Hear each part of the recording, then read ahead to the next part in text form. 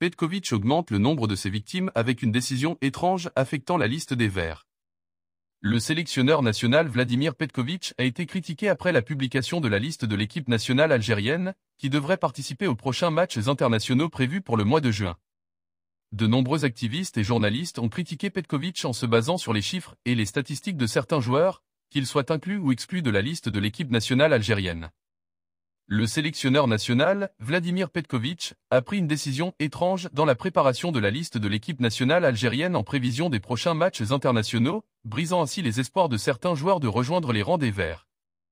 Vladimir Petkovic a décidé d'exclure tous les joueurs évoluant dans les ligues de deuxième division en Europe de la prochaine liste de l'équipe nationale algérienne pour affronter la Guinée et l'Ouganda, selon ce qu'a révélé le journal La Gazette du Fennec. Anthony Mandrea est une exception en raison du manque d'alternatives. Le technicien bosniaque a fait une exception dans sa décision étrange en gardant le gardien Anthony Mandrea du club Cannes, évoluant en deuxième division française, en raison du manque d'alternatives au poste de gardien de but. Il est probable que Mandrea soit le gardien de but titulaire de l'équipe nationale algérienne lors des deux prochains matchs, selon de nombreuses prévisions. Imad Abdelli est l'une des principales victimes de la décision étrange de Petkovic. Selon ce qui a été rapporté dans le journal francophone local, la raison de la non-sélection du milieu de terrain du club français Angers Imad Abdelli, qui, selon beaucoup, méritait une chance avec Petkovic, a été révélé. Imad Abdelli n'a pas réussi à être convoqué pour jouer avec l'équipe nationale algérienne en raison de la décision du sélectionneur national, malgré une saison remarquable en Ligue 2, selon ses chiffres et ses statistiques. En plus des chiffres et des statistiques pendant les matchs qui l'ont fait figurer dans l'équipe type de la Ligue 2 française, le guerrier du désert a grandement contribué au retour d'Angers en Ligue 1. Ilan Kebal exclu de la liste jusqu'à nouvel ordre. La star du Paris FC, Ilan Kebal, s'est également ajouté à la liste des victimes de la décision étrange prise par l'entraîneur de l'équipe nationale algérienne, Vladimir Petkovic. Selon ce que confirme la Gazette du Fennec, Ilan Kebal n'aurait pas non plus été assuré de sa place dans la liste de l'équipe nationale algérienne pour le stage de juin, même s'il était en pleine forme physique et n'avait pas été blessé la semaine dernière. Ilan Kebal a terminé sa saison avec le Paris FC avec un bilan impressionnant en termes de passes décisives, en tête de la liste des passeurs décisifs en Ligue 2 avec 11 passes décisives. Kebal a également marqué plusieurs buts, en marquant contre l'équipe adverse lors de 8 matchs, ce qui lui a valu une place dans l'équipe type de la Ligue 2 française. Championship ajoute la Russie à la liste des victimes de Petkovic. Si l'entraîneur national continue d'appliquer sa décision de ne pas faire confiance aux joueurs évoluant en deuxième division sur le vieux continent, le défenseur Yasser Laroussi sera également ajouté à la liste des victimes. Laroussi et ses coéquipiers de Sheffield United ont échoué à assurer leur maintien en Premier League anglaise et joueront la saison prochaine en Championship.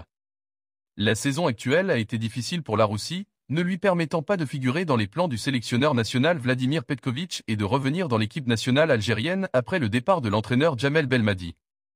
Le défenseur des Fennecs n'a disputé que 13 matchs avec son club anglais, dont 11 en Premier League, un en FA Cup et un autre en Carabao Cup. Monsef Bakrar se démarque comme l'un des joueurs pris dans le dilemme de Petkovic. De nombreux observateurs ont remis en question les critères utilisés par l'entraîneur bosniaque Vladimir Petkovic dans la sélection des joueurs, notamment l'attaquant Monsef Bakrar, qui connaît des difficultés avec son club New York City FC aux États-Unis. Les chiffres et les statistiques illustrent la longue période de disette de Bakrar en matière de but avec son club New York City FC en Major League Soccer. Le guerrier du désert n'a réussi à marquer qu'un seul but en 13 matchs joués cette saison avec son équipe, sans aucune passe décisive à son actif.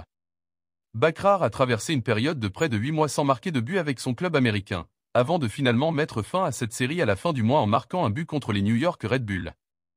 Beaucoup pensent que Bakrar ne mérite pas d'être sélectionné en équipe nationale algérienne en raison de son faible nombre de buts marqués pendant la période actuelle, malgré son talent. Les statistiques favorisent Slimani par rapport à Bakrar. Certains activistes ont critiqué Petkovic pour avoir exclu l'attaquant Islam Slimani pour la deuxième fois consécutive, malgré ses statistiques impressionnantes avec son club belge Mechelen cette saison. Contrairement à la période de disette de Bakrar, le meilleur buteur de tous les temps de l'Algérie, Slimani, a marqué 6 buts en 24 matchs joués cette saison, avec Coritiba au Brésil puis Mechelen en Belgique. Slimani a également contribué avec 5 passes décisives pour les deux équipes mentionnées ci-dessus. En plus des chiffres et des statistiques, certains ont souligné qu'Islam Slimani avait récemment exprimé son fort désir de continuer à jouer pour l'équipe nationale algérienne, avant d'être ignoré par Petkovic. Yousri Bouzok mérite une chance avec Petkovic. Vladimir Petkovic a été critiqué par certains pour ne pas avoir donné sa chance à l'attaquant Yousri Bouzok, qui a été très performant avec le Raja Club Athlétique dans la Ligue marocaine. Beaucoup estiment que le fait que Yousri Bouzok soit en tête des buteurs de la Ligue marocaine avec 12 buts le rend digne d'une opportunité avec Petkovic pour porter le maillot de l'équipe nationale algérienne. Le joueur vedette du Raja Club Athlétique n'a pas seulement marqué des buts, il n'a pas non plus manqué de figurer parmi les meilleurs passeurs de la compétition marocaine.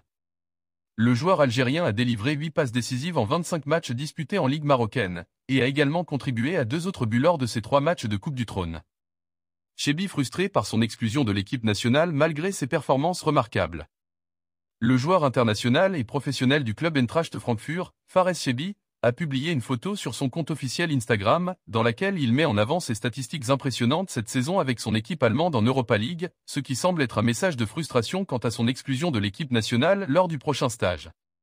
Les statistiques publiées par Chebi montrent qu'il domine la liste des meilleurs passeurs décisifs de la compétition européenne avec 5 passes, et il a également partagé des statistiques sur les meilleurs joueurs en termes de passes clés dans les 5 grandes ligues européennes, où il se classe 5e avec un total de 21 contributions. Le fait que le nom de Chebi ne figure pas dans la liste de l'ancien joueur du Toulouse FC, Petkovic, a suscité de nombreuses questions sur les critères utilisés par le sélectionneur national pour choisir les joueurs, étant donné que Chebi affiche des chiffres très impressionnants en Bundesliga, 28 matchs à 2 buts et 6 passes décisives, et en Europa League, 7 matchs à 2 buts et 5 passes décisives, ainsi que 2 matchs en Coupe d'Allemagne. La difficulté de composer la liste malgré la décision étrange. Vladimir Petkovic a révélé lors de sa conférence de presse hier matin, dans la salle de conférence Mohamed Salah du stade Nelson Mandela à Alger, qu'il avait eu beaucoup de mal à composer la liste finale.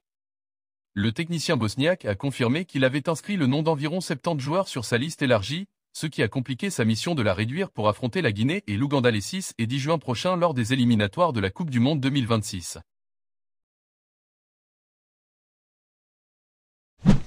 Le message de Riyad Mahrez secoue les fondements de l'équipe nationale algérienne. Vladimir Petkovic a dévoilé ce jeudi la liste des 25 joueurs concernés par le stage de juin. Riyad Mahrez n'était pas retenu dans le groupe en raison d'une décision personnelle, explique le sélectionneur national. En effet, le technicien suisse a expliqué que le joueur n'a pas manifesté son désir de revenir en sélection, c'est pourquoi il ne l'a pas convoqué. Le sélectionneur des Verts a souligné qu'il avait mis le nom de Marez dans la liste élargie avant de le retirer en raison de l'absence de réaction du joueur d'Alali. Petkovic a précisé par ailleurs que les portes de la section restent ouvertes aux champions d'Afrique 2019.